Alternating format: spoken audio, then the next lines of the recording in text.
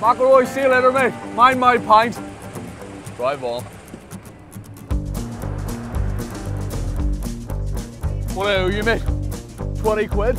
I'll give you 40. Bargains offend me. Oh, there's no way I'm fitting through there. Someone get the baby oil and oil me up. This discrimination against meatheads like me. It's also known as the sport of the kings. No, I'm not talking about running through Belfast city centre, throwing 50 pound notes at the great unwashed for the banter. We're talking about horse racing. I'm here in West Down, which is so North Down. yes, guys, it's Down Royal, which is also what my registration plate says on the Jag. Sure. Have we got VIP passes sorted for the, the lounge? I'll get it sorted, don't even worry about it. See you in a sec.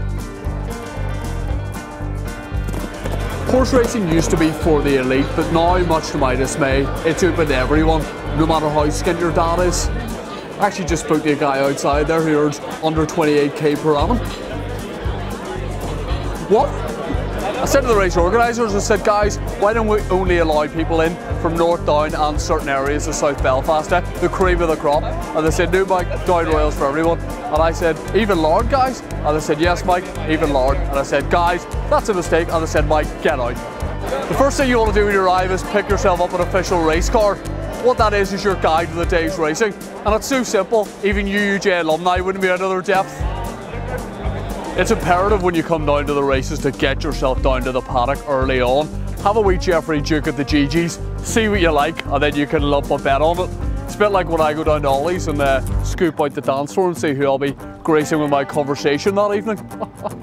great chat, great chat. Barry, how you doing, mate? What odds are you giving on me pulling a worldie?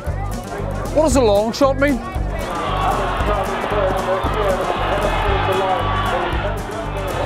Down Royal's all about mingling. I mean, look at me. I've been to the GP, I've had my vaccinations, and I'm here in the public bar. I can't handle it anymore. I meant minted. Get me out of here. Cool red. It going, mate? Tommy, if there's an absolute lunatic never been to Down Royal before, why do they need to get themselves here? Oh, I mean, you just look around you, the crack, the gorgeously turned out people, the beautifully turned out horses. I mean, it's just a fantastic day out. Whether sure. you're into your horses or not, you just come here for the crack and people watching, of course. Sure, and in terms of etiquette, what's a faux pas someone might commit here? Do you know, there are a lot of people come here thinking they are the big fella, have the big wad of money with them, but they've actually, it's really no-no to wrap a £20 note round newspaper and just to try and have the, the, looking like you've got something when you really haven't. That is so much of a no-no. Sure. Um, is your phone number changed or is it still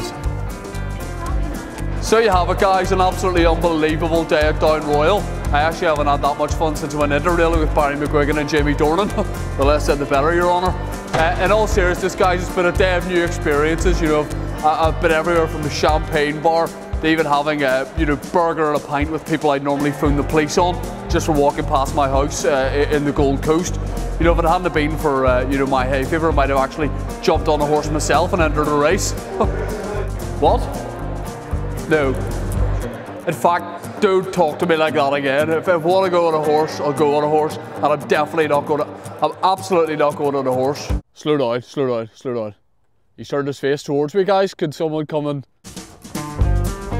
This thing's going quicker than Jimmy Nesbitt on his way up to a free bar. Now, some of these racehorses can go up to around 40 miles an hour, which is roughly the same speed as my Rolls Royce when it's on the road. Obviously, it's being weighed down by XMSNIs and bottle of Grey Goose on board. I'm really comfortable on horseback. I think I'm going to head into Ollie's tonight like this. What are we doing here, about 50 mile an hour? I mean, the birds are going to be absolutely loving the sight of this. A big, elegant, muscular beast on this horse. to Ollie's we go. Would this horse be comfortable going to Ollie's or, or what's happening?